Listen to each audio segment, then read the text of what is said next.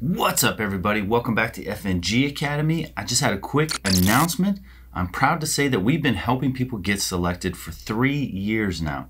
I've been getting a lot of messages about uh, people thanking us and saying that they just graduated from uh, selection and they got selected. Uh, people graduating the Q course. Uh, one of my buddies just sent me a video uh, from the Charlie committee. Asked if you guys have ever heard of the FNG Academy, raise your hands. And all their hands went up, and it just filled me with pride. Um, so, part of the way that we do that is making sure that you guys are physically fit and ready for selection. And the way we've been doing that for the past couple years is by sending you to a Green Beret we know and trust, Kevin over at 18 Alpha Fitness. So if you want to get selected, you need to be in the best shape possible and you need a programmer who knows what they're talking about. So go check out Kevin over at 18 Alpha Fitness. Use code word BUCK to get a discount. Tell him we sent you and hook you up. Congrats to everyone who's been getting selected lately, and we'll see you guys on the next one.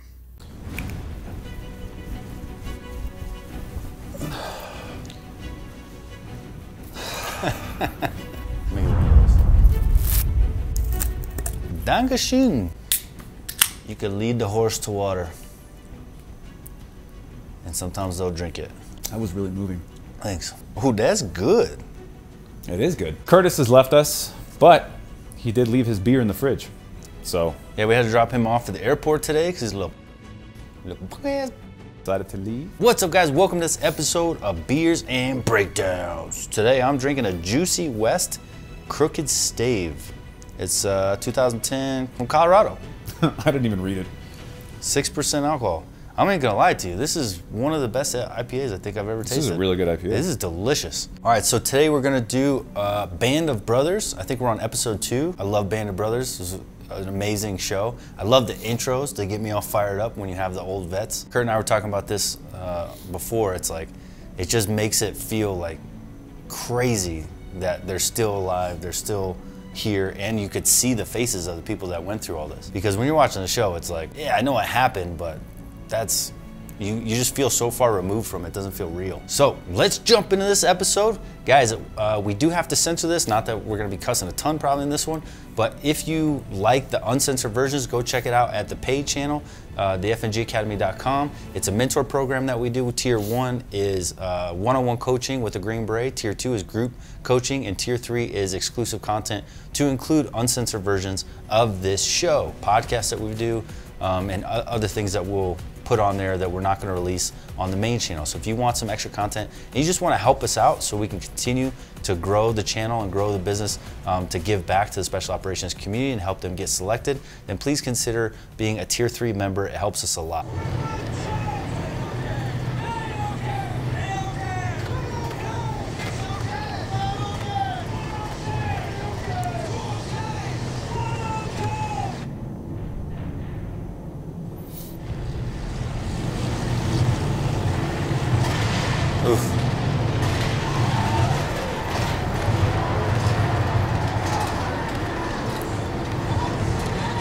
Good. Yeah.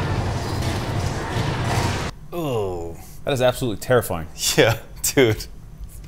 Just jumping alone, like with, just for training is terrifying. Yeah. And then to have to do it into combat is terrifying once you land. But now you're getting shot out of the damn sky. Insane. And Just then- the visuals. It's terrifying. So terrifying. And then the plane is banking, trying to avoid, and you're standing there holding your static line, which is attached to your chute, which is attached to the bird, falling all over the place. You're just standing. It's not like you have anything to hold on to. Mm-hmm. So it's difficult enough w- as the plane barely moves. I can't even imagine staying there while it's banking like that. And then potentially, as it banks and you fall, if it pulls your chute at all, mm. like it, it's it may not pull it all the way out, but it could still mess up your your jump. And like because depending on how far you fall, it could pull some of your chute out of your pack. It's just terrifying. It's absolutely insane to me to think about this situation and standing in that bird like that. Obviously, this one gets shot down, they all die, but the other one, people are getting hit and then having to jump. Dude, just that's a horrific experience. I could not imagine. I hate jumping as it is. This is like level 10 scary. That's Raincoat. You got a raincoat? Yeah.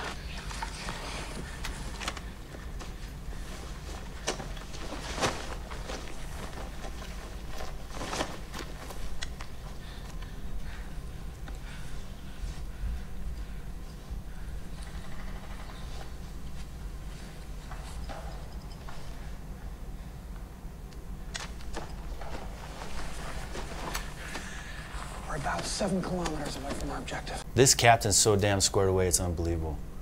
Like he's linking up with these guys as he's finding them. Mm-hmm. One guy saw a sign. He, I don't know if he used a button from his pants. I think mm-hmm. that's what it was to create a makeshift um, uh, compass, mm-hmm. and then just looked at the map, figured out where they were. I'm shocked that they were only seven clicks away from their objective. That's sh- surprisingly close. They got lucky to get that close, considering their jump conditions. Um, but this captain is just so squared away. This is exactly what you want out of a leader. It's somebody that's like, "What's the problem? How do we fix it?" There's no panicking isn't going to do you any good. Get mad, you know. F- you just have to think about what's next. How can we make the situation the best case scenario? And then he he remains his tactics all the time. Raincoat over him so no one sees him white lighting as he's checking the map. Um, being able to make that compass on the fly like that is, is he's just Johnny on the spot, man. How often do we have uh, do we have leadership like that not be able to keep it together in a stressful situation? Uh, it's, it's, you'd be surprised. It's pretty pretty rare. I mean, pretty regular. It happens quite a bit. But usually, hopefully, you work those guys out Right. before it. You know. But we have so many soldiers. There's a lot of great ones, a lot of bad ones. Getting promoted in the military is not like the best ones get promoted. A lot of times, it's just how long you've been in. So you just make time and you'll make gotcha, rank. yeah. And so guys will get put in these positions that didn't actually earn it. When The I joined, gonna fall apart. I got to my unit. I had to stand at parade rest for a sergeant, and that sergeant ended up being so ate up, he got demoted on deployment to private. I got promoted to sergeant. By the time I got back from deployment, he was standing at parade rest for me. Wow. So the, captain told him to wait for his command. He's going to signal the order when to fire. Mm.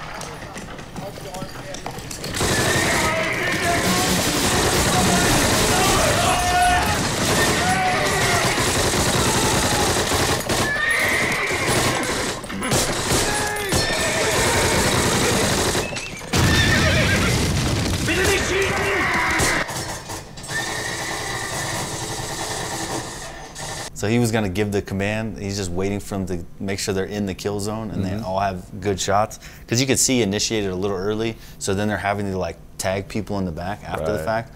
If he would have waited for him a little more, they could have clean swiped all of them, Right. and everyone could have gotten a fight at the same time. Um, but a little backstory is his brother got killed, and so he's looking for revenge. Oh, his this brother's guy. yeah, Okay. his brother's a soldier because this is a sergeant. His brother's soldier got killed, so he just wanted a piece of that ass, and so he just let him have it. Just went after it. Yeah.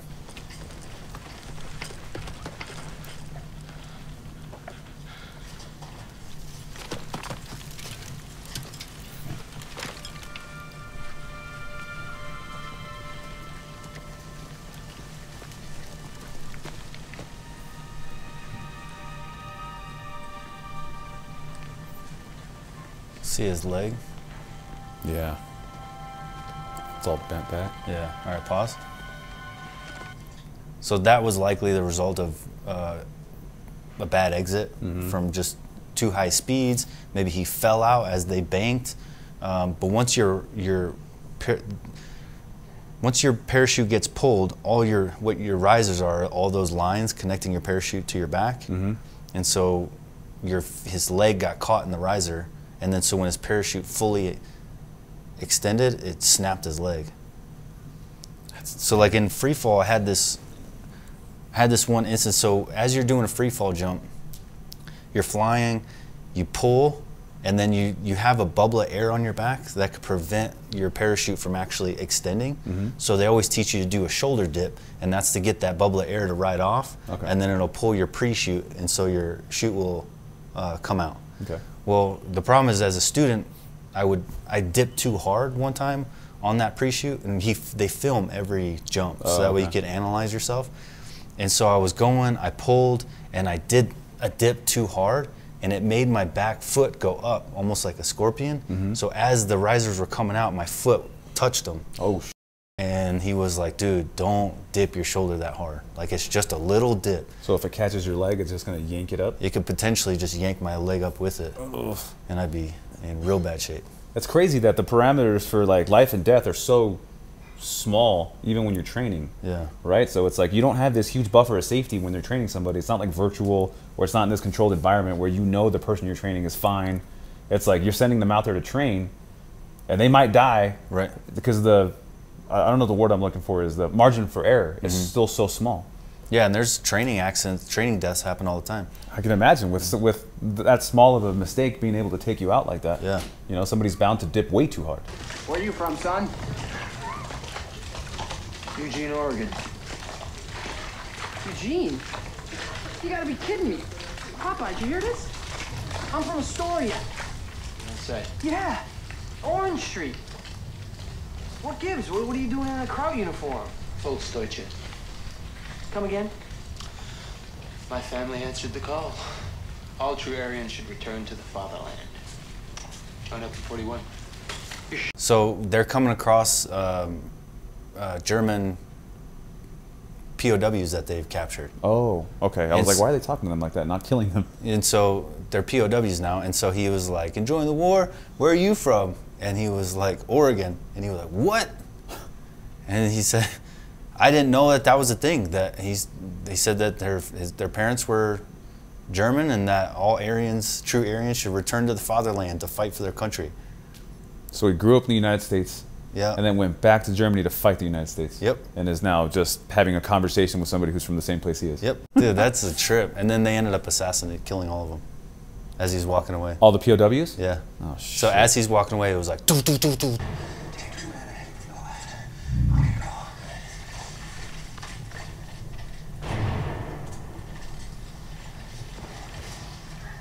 Take Randy. Develop rank. Get cover your fire. Right, I'm machine gun. Don't get rid of position until you have to. I want that TNT as soon as you see me capture the first gun. Go.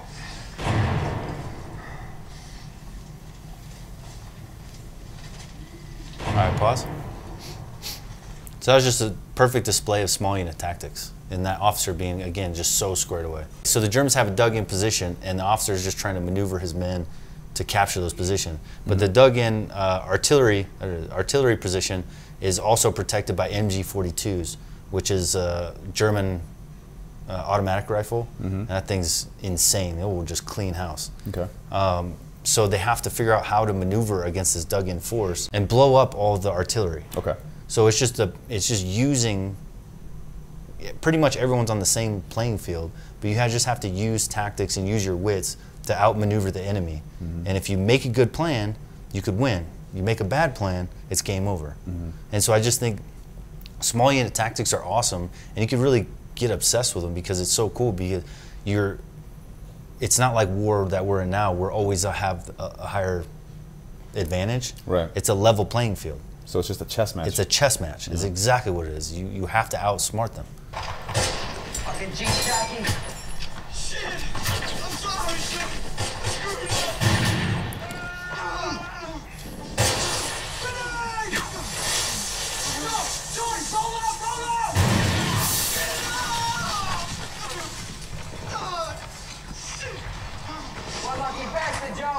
I love that. He's one you one lucky bastard, Joe. That's war. Yeah. We've talked about it so many times. I, I was so hard on myself when I first got into finally got some combat over stupid decisions or things going not the way we planned. Um, but you come to realize real quick that that's just how war is. So you, sometimes you just get really lucky. Sometimes you get really unlucky. You know, sometimes you're in the wrong place at the wrong time and get hit. And Yeah. Other times you that that exact spot just was the perfect place and you couldn't have avoided any better. Hey, Sarge! I'm looking for battalion headquarters! Are you kidding? It's back away! We know Jeez.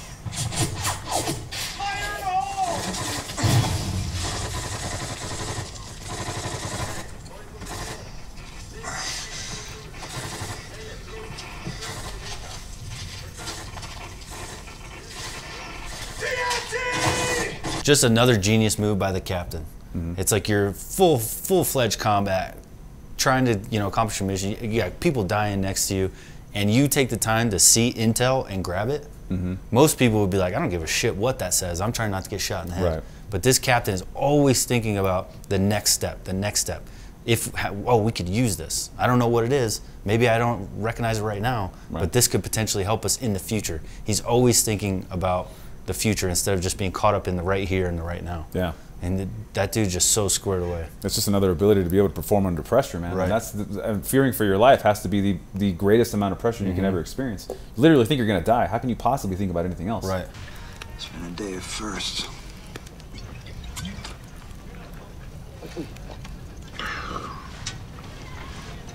Don't you think, Guarnere? Yes, sir. Carry on. Right, sir. Oh, Sergeant? Sir. I'm not a Quaker. Again, all about the captain. So much greatness happened right there. So he shows up. His boys are passing around some drink, cooking some food. They're having boys' time. They mm-hmm. need this. It's decompression time. Right. He knows that it's important to bond with his guys, but he also knows that it's not. It's important to give them their space. Right. So he shows up. They hand him a drink. And he says, "Oh, he don't drink." It's one more way to separate him from them. Right. So, knowing that, he takes a drink for the first time in his life Wow. because he has the awareness to know that that drink is bonding to them Yeah. and you can't be you can't lead these men and then separate yourself like that Right. but then also the final smart decision that he makes is he knows when to fucking leave Yeah. because no one wants to have a drink and you know eat food and, and bond and talk shit with your fucking commanding officer so you got to know when to get out pump fists you know have a drink share a drink with them and then fucking leave Yeah. and so the fact that he just understands this, it just it just shows his emotional IQ and his emotional intelligence on understanding, you know, men and how to lead them and how to appreciate, you know, the intric- intricacies of leading men, especially not being so mad at the sergeant for disobeying an order. Right. And like, that was another thing they did right there. He just, hey man, I heard what you talk shit about me, and I know we're cool. Just so you know, I heard it, and we're cool. It's not, I'm not a Quaker. And Oh, okay, it, yeah. he crushed all of that Yeah. potential beef. And then the sergeant gave him the nod when he asked him if he's going to be his commanding officer, giving the officer, letting the, the captain know that. Um, is he a lieutenant? Sergeant. Does, no, the lieutenant. Is he a captain now? Oh, I no. thought he got promoted captain already. Yeah, I'm pretty sure he did. So either way, lieutenant captain, letting him know that he approves of him now, even though they had beef earlier. Yeah. So just so much greatness happened within a one minute interaction. Right. And it's just all about having a good emotional IQ. All right, guys, hope you enjoyed that episode of Beers and Breakdowns. Uh, Band of Brothers, I think, is one of the best shows. I'm loving it right now. Again, I don't typically watch these because war stuff just stresses me out. Um, but because of the show, you guys have kind of forced me into it, and I am loving what I'm seeing. Mm-hmm. I love all these these shows: Band of Brothers, Generation Kill, um, The Pacific. They're so badass, mm-hmm. and I'm so happy that I'm actually like having to watch them because I'm loving the shit out of them. I get a really cool perspective because I get to have guys tell me, "Hey, this is actually accurate," which makes any show that I'm watching infinitely more interesting to me to mm-hmm. watch because they're giving the stamp of approval, saying, "Hey, this is actually a pretty accurate show." So if I'm watching it, I'm essentially watching. It almost feels like watching a camera in place somewhere else in something that took place because they these are so well done. So it it makes me a lot more interested to watch these as to where I normally wouldn't. You know what I mean? But Cool. If you guys made it this far, please do us a favor like, subscribe, hit the bell notification, leave a comment. Guys, can't tell you how important that is. It keeps us going, it keeps the, the content getting out there, uh, and more viewers and more subscribers just help us to grow, which helps us to give back to the special operations community on our mission to get as many people selected as possible. We're here to help you get selected like no one else out there. We promise you that, and it's your viewership that helps us accomplish that mission. So, from the bottom of my heart, thank you guys. We'll see you on the next one.